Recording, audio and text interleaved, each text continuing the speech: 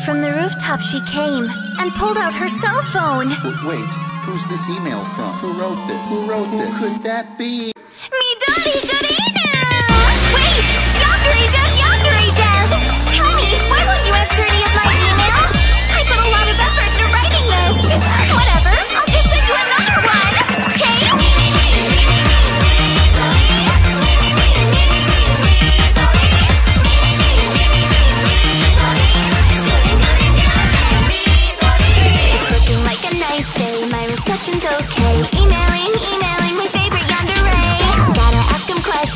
them my suggestions. You're very dumb. You'll regret this.